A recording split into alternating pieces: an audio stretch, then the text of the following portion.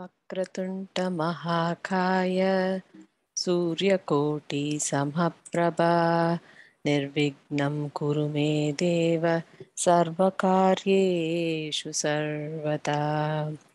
कायेन वाचा मनसेन्द्रिये वा बुद्ध्यात्मना वा प्रकृतेष्वभावात् करोमि यद्यत् सकलं परस्मै नारायणायेति समर्पयामि Namaste everyone.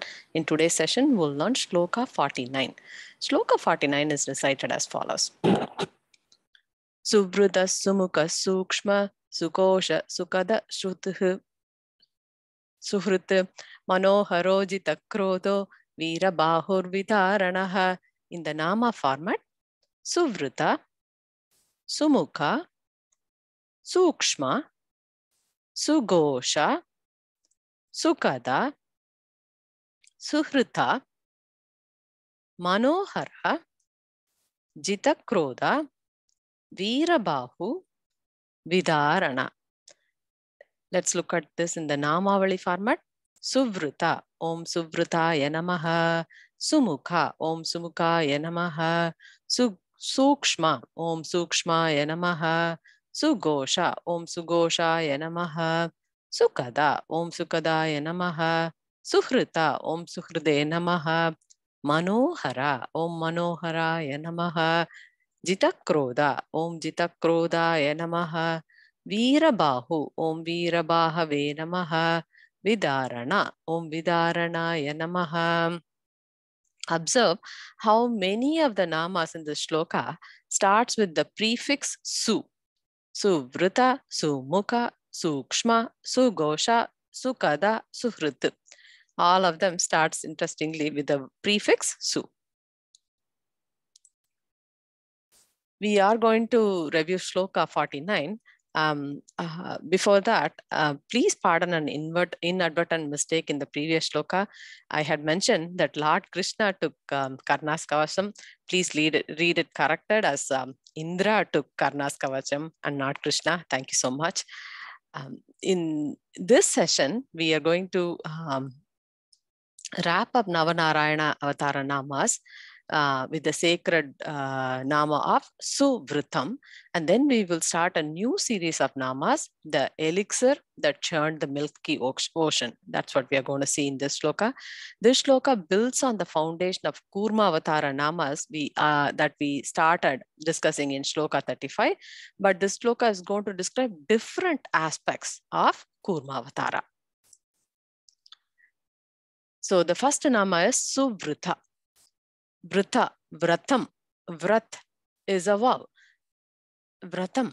Suvritam is an auspicious Vratam. In general, parents are the one who would do Vratam for the welfare of their kids and family. For example, we do Satyanarayana Vratam, we do Santoshima Vratam, we do Varlakshmi Vratam. Sages Narayana being the parents of all the creation, do vratam. That's, that's why this nama is called suvratam. Why do they do this vratam? For the protection of all of us. Hence, Naranarayana Avatara is very specially worshipped with the nama Suvrata. Generally, we do observe a vrat because we want to get rid of our karmas. But Lord Nara Narayana is not bound by any karmas. They observe intense vratam during the Naranarayana Avatara. Why is that? That's because out they, they do it out of goodwill to give shelter and protection to all that seek him as refuge. Lord took the auspicious vow. That's why he's called Suvritha. Vratam, uh, Subham Vratam, Shobhanam Vratam Asya iti Suvritha.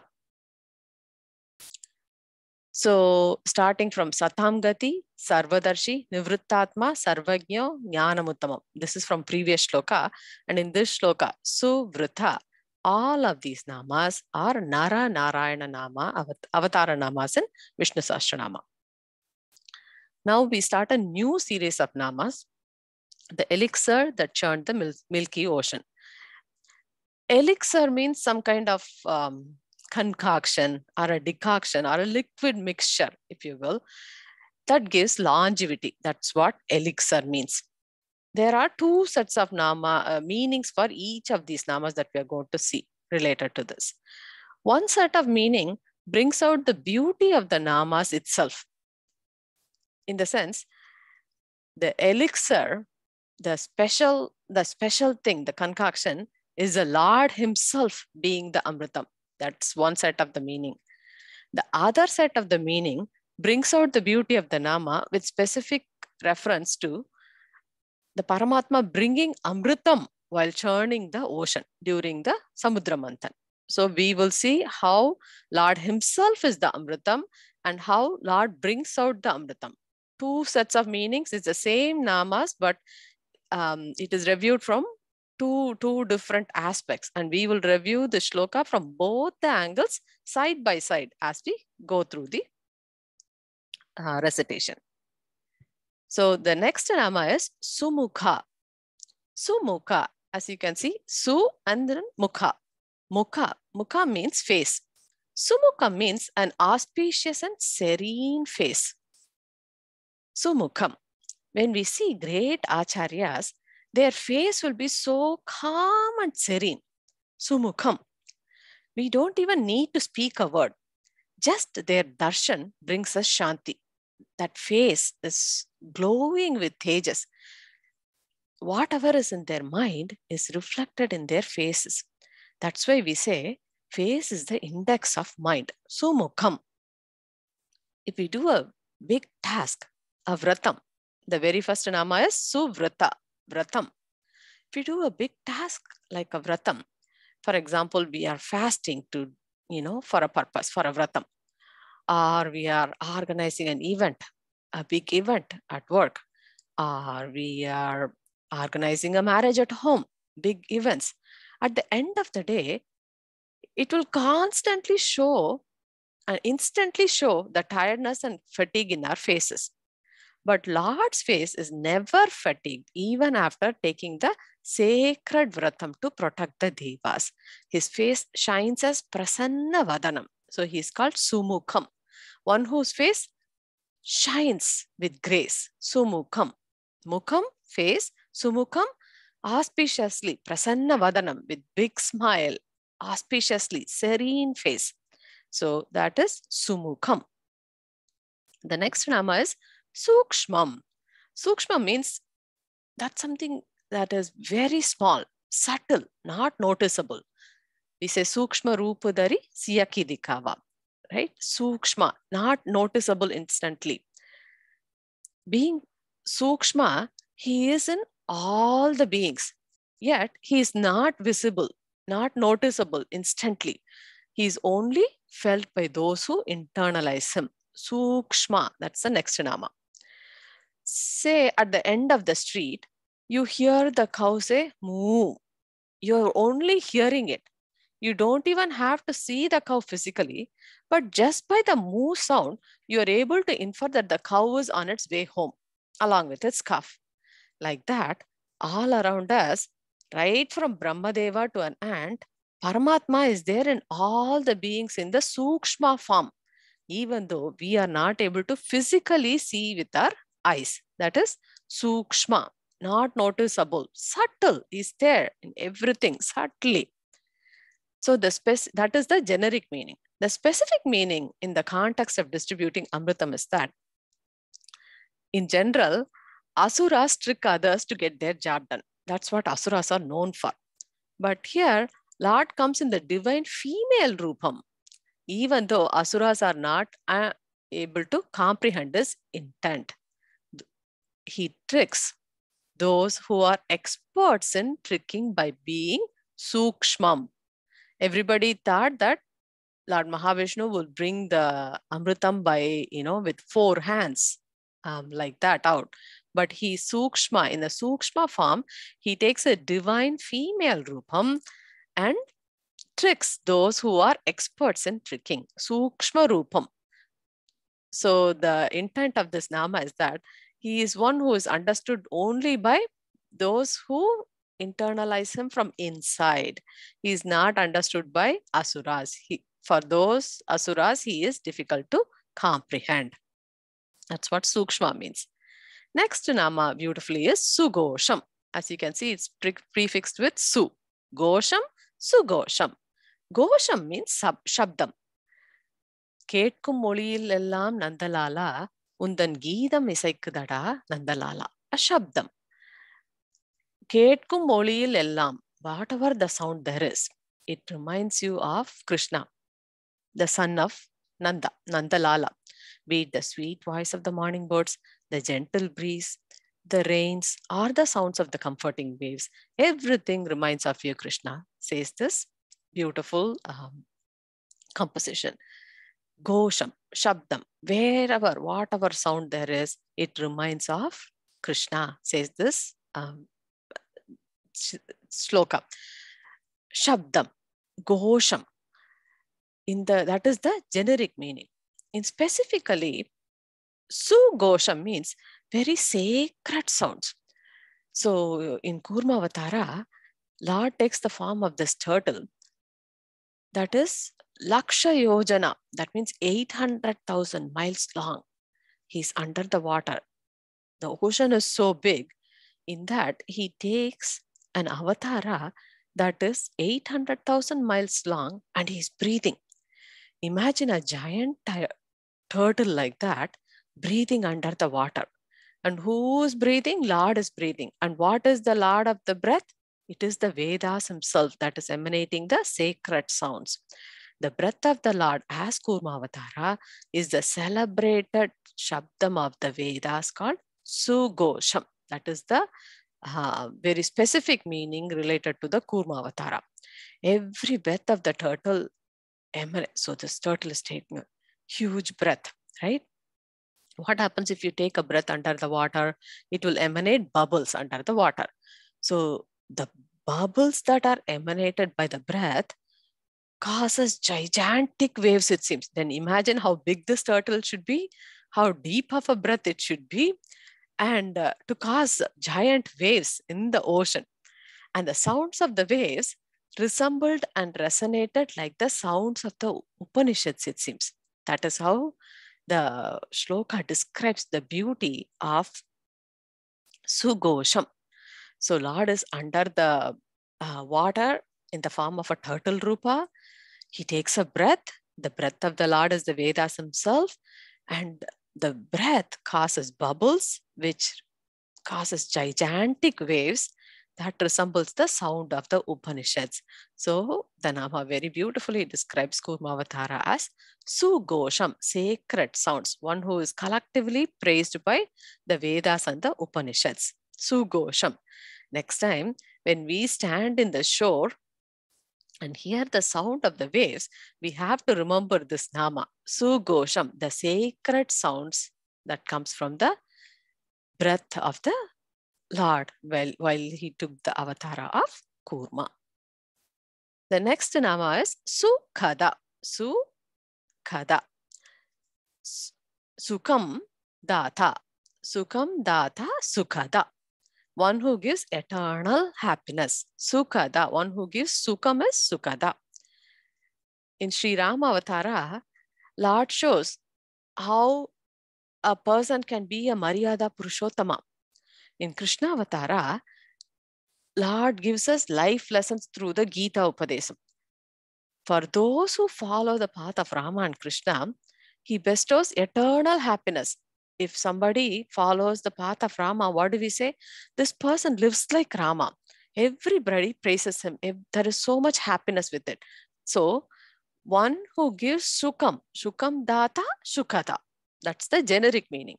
Here, in the specific context of Kurmavatara, Parama Sukam Data iti Sugata one who gives the shukam of granting amritam. That is uh, one of the main things that happens in the Kurmavatara that is highlighted in the shloka. Parama shukam data. How, how does he gives parama shukam? Because he is going to give this very special divine um, liquid that gives longevity. So he gives the parama shukam of granting amritam. Then the next nama is Suhrit. Suhrit. So why does Lord have to demonstrate a life to live like Rama. Why he has to face all the hardships? Because he is Suhrita. He has a good heart. Hritam. He has a good heart.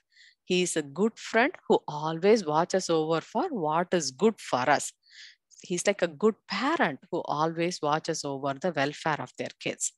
So ordinary people always expect something in return while helping. But Paramatma always helps without expecting anything in return because he is a Suhritan. He has a good heart and he is a good friend who wouldn't expect anything in return. So this is the generic meaning of this very beautiful Nama, Suhrita, a good friend who has a good heart. The specific meaning uh, in terms of the Kurma Avatara is that Shobana Hridayatvam Suhrit, one who gives the Sukham of granting Amritam because he has a good heart. He could have just stayed in Vaikuntham and ordered things to happen. Why he has to come all the way down? He, he himself comes as Sri Kurma, the great turtle, when the Devas wanted help. Paramatma is holding this big mountain on his back and trying to give support. At that time, if you see, no one is praying to the Lord. No one is looking at this great Kurma who's doing all the work. Instead, everybody is interested in Amritam. But Lord, being the Suhritan, the good-hearted one, bestows goodness even when Devas did not think of him. That's why he's called Suhritan. He shows Mitra Bhavam.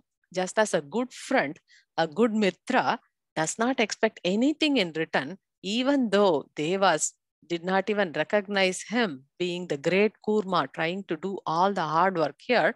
Lord is being a Suhritan, a good-hearted one who bestows goodness even on those who doesn't think of him.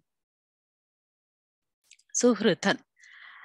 Um, this Nama is especially worshipped in the temple called Tirumohur. There, the Lord is called Kala Meha.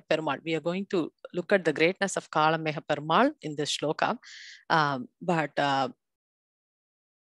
what we want to um, understand from as it relates to this Nama is that Kala Meha in Tirumohur is said to be a close friend of the devotees. He is called Suhritan uh, because Lord come, Lord, he he comes as a good friend and shows margam, directions to the devotees. So Tirumohur's uh, Kalameha Perumal is called Marga Bandhu.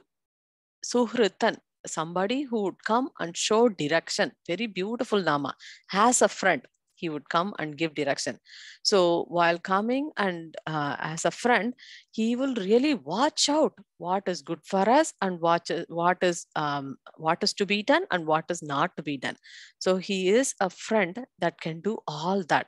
So uh, this Nama very beautifully goes on to explain some more. Say someone has a disease. What the doctor would say, he'd say, you have to be on a strict diet, right? Why? Doctor being strict is good for that patient. If the diet is not followed, it will only harm the patient. Similarly, Lord here, he did not give the Amritam to the Asuras. He's being very strict because why? As a doctor, he thinks that if they, if the Asuras have it, they will only cause more harm to all the beings. So Lord is being a good friend, a well-wisher, and Lord is here watching out what is good, what what good must be with whom here. So every action that he does has a deep meaning. He will watch out what is to be given to somebody, when it is to be given, how it is to be given, because he is Sukshma. We learned that Nama. So very beautiful Nama. As a friend, he will come and whatever Lord's actions are, it is always for the welfare of us whether we understand it or not.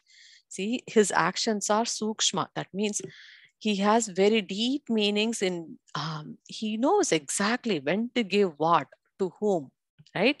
Uh, so we have to believe in that. That is the message conveyed in this nama. Sukshma, he will come as a sukshma, and, but he is a good friend. He will come and watch out for us and He will grant things when it is to be granted. The next Nama is Manohara. Manas, Manas means mind. Harati, Hara means to capture. One who captures the mind. Since he is the kind-hearted one, since he is the Suhrita, so you see how the namas are connected with one after another after another. Since he is the kind-hearted one, Suhrita, he captivates the heart and mind of all. So he is called Manohara, captivating the mind of all. That is the generic meaning. Specifically, what here it means with the Kurma Avatara is that he loots the minds of everyone. He who captivates the minds of Asuras in the form of a Mohini Rupa. Hence, he is called Manohara. Mohini Rupa, Mohana Shetram.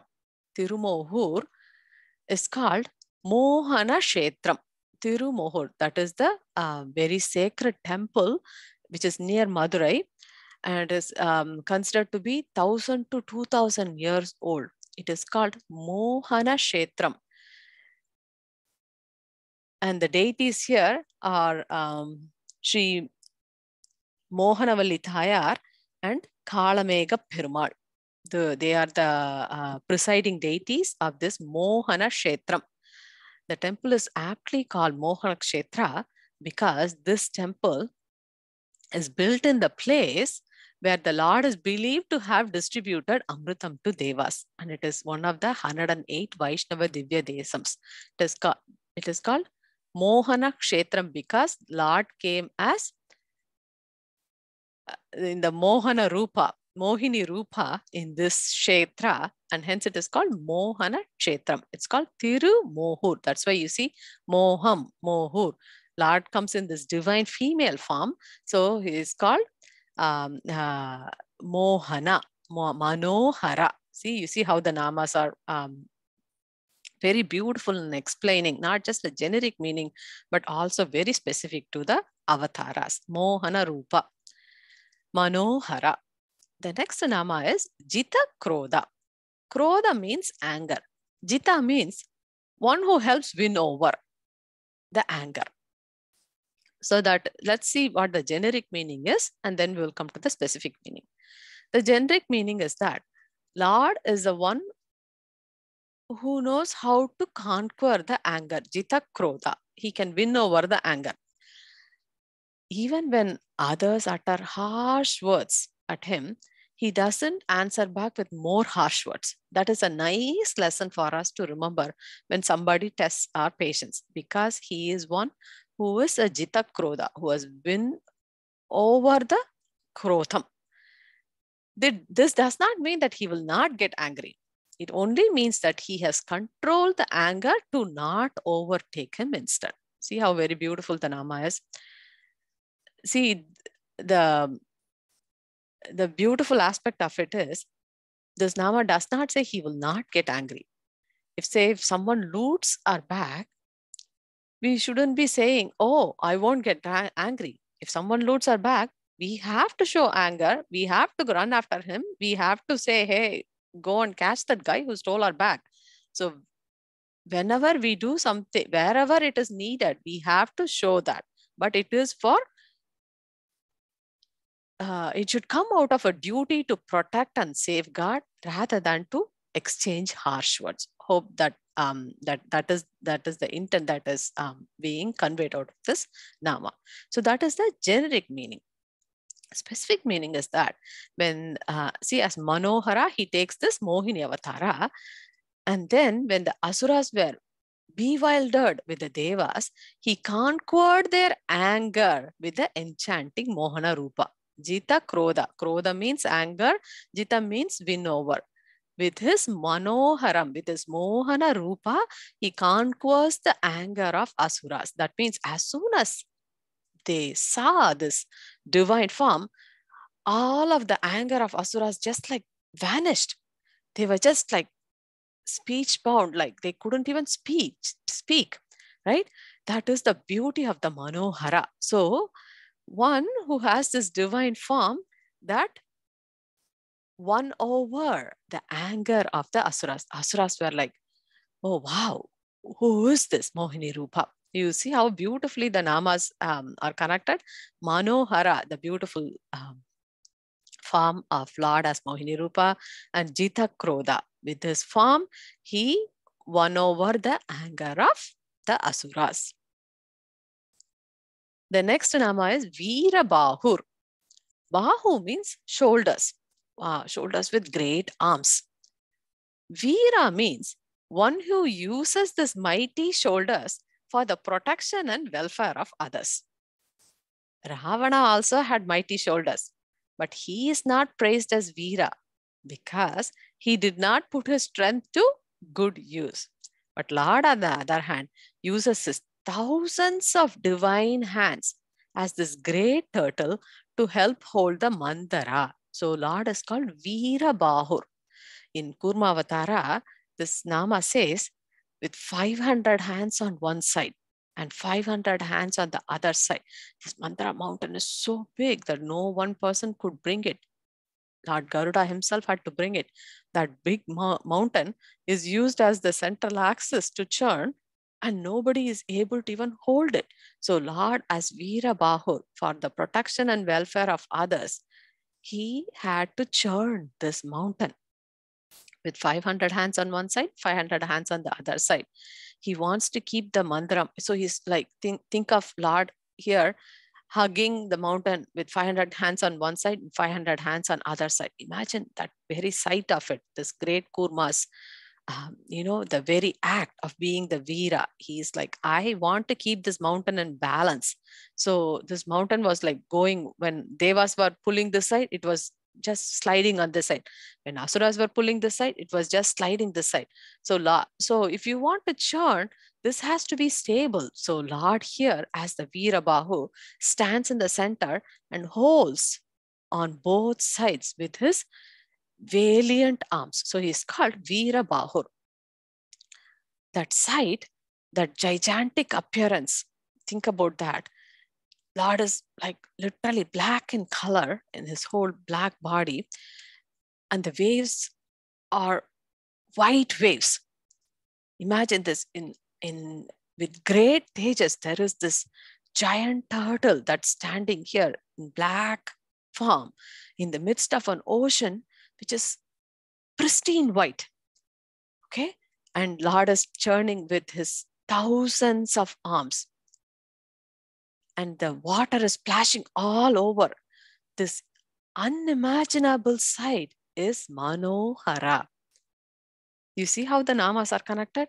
Manoharam, the form that he took here as this great uh, kurma, it looked like as if one great mountain was holding another to churn this great ocean. So Lord is very beautifully described as Veera Bahur, one who has mighty valiant arms and one who uses that mighty shoulders for the protection of others. Veera Bahur we um, we worshipped uh, Tirumohur Kalameha Perumal. He's called Meha. Meha means clouds. Kala Meha means black clouds. Kalameha Perumal, the in the Sanctum Sanctorum, that is how his body is. He's he's like a black cloud, the appearance of the form. His mercy appeared like the dense rain-bearing clouds. That just like we saw that giant turtle who was standing like a mountain. See, he is the Paramatma. He could have stayed happily in Vaikuntham with all the comforts. Look at his kind heart, Suhritam. Just for protecting the Devas, he is immersed under water, that too in the salty ocean there. Why should he do all this? Isn't he the elixir himself? Why does the Devas want the Lord to churn the ocean to get anything other than this? why does the Lord, why does the Deva want Amritam, which is just a liquid? Isn't he the elixir himself? Beautifully asked this shlokam. So Kala Meha Perumal, he is the elixir himself. He is the Amritam himself.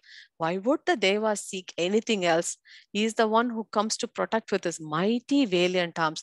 Shouldn't everybody be worshipping the Paramatma instead of being comfortingly in the Vaikuntham? He is here taking an avatar as a turtle, completely immersed under water, why why hasn't the devas taken sight of this? Why why don't they understand that this the mercy and the friendship mitra bhavam of lord himself instead why are they seeking something other than that? Isn't lord himself the elixir? I asked this sloka very beautifully. Veera bahur imagine that. Laksha yojana. Laksha yojana means 800000 mile long turtle. That turtle when it is under the ocean it looked like a dvipa dvipa means island the turtle itself appeared as if it was an island, it seems. Added to that is this Veera Bahur, the Lord with thousand arms. Imagine the Vishwarupam of this turtle, one who has the mighty, valiant arms. He himself stretching like have you have you ever seen a turtle like that we have seen turtles that are like hand sized palm sized maybe a little bit bigger than that. Some, you know, maybe uh, as big as a bench. This turtle is 800,000 miles long and it has hundreds and thousands of arms. Thousand arms does not mean just the number thousand. It is an indicative to say that he has many, many, many different arms to make sure that this task is done. That's why Veera Bahur with all of this many, many, many hands, what does he do? Vidarana. Vidarana means to remove. What does he remove? Bhaya Vidarana. With thousands and thousands of his hands, he removes Bhayam. Bhaya Vidarana. One who removes the fear of his devotees is Vidarana. When we are in the process of doing a good task, if obstacles comes in any form, he removes them since there is no obstacles, there is no fear now. Hence, he is called Bhaya Vidharana. When uh, they were doing this great churning, Rahu came to disrupt this good task. He sneaked on the side of the Devas to drink the Amritam. At that time, Lord with his celestial Sudarshan Chakra punished Rahu. If there is any obstacles in any form, he removes fear Vidarana, Bhaya Vidarana. So there is no fear for the Devas. In Tirumohur specifically, she Sudarshana Chakra, Chakra, uh, is considered to be very sacred and very powerful with many, many hands, 16 hands. The Sudarshana uh, here has, and he has a celestial weapon weapon in each of these 16 hands and he the chakra itself is supposed to have very sacred inscriptions. It's considered to be one of the most powerful um, avatara of the Sudarshan chakra. This is in Tirumohur, the temple that we saw, the Mohana Kshetram that we saw. So uh, this Nama Vidarana very beautifully says that he will come to remove the fear of the devotees when we do a good task, if there is any obstacles in any form, he will come as Vidarana. He will remove the obstacles and he will remove the fear of devotees. So in summary, if you see throughout this shloka, we try to infer when there is, whenever there is something precious, it is always very challenging to safeguard it. See, the entire Kurma Avatara started because something precious was given to Indra. A Maharishi gave a very sacred and a precious garland to Indra. He's, he had to safeguard it, but Indra failed to safeguard it. That's why this whole challenge happened, right? So the sage said, you know, uh, if you have to um, uh, get the uh, Lakshmi Kataksham, it is all buried in the ocean. And that's that's when they all went to the ocean and they went to churning. The, but if you see the underlying um, task, there was something very precious, precious. The Mahalakshmi Mala was there. The task was to safeguard this precious thing. Whenever there is something precious, it is always very challenging, challenging to safeguard it. Say, for example, our family is very precious to us. See how much effort we put to safeguard their welfare. Anything that is precious is always challenging to safeguard it. Gold is precious. We buy gold, but after buying it, see how much effort we take to safeguard it. We have to either keep it in a safe place at home or sometimes we keep it in a bank. Something precious, anything precious, we have the challenge to safeguard it. Amrutam is very precious. See how many challenges there were between Devas and Asuras to protect it. But the most precious of all is the Paramatma himself. So he is himself the Amritam, the elixir. He is himself the Amritam that churned the ocean, says this shloka. Suvrita Sumukha Sukshma, Sugosha Sukada Shuhdh, Manoharojita Krodo, Virabahur Vidaranaha. As next steps with Guru's blessings, let's explore the 50th shloka in Vishnu Sahasranama. Loka Bhavantu. May everyone in this whole world be happy. Thank you so much, everyone.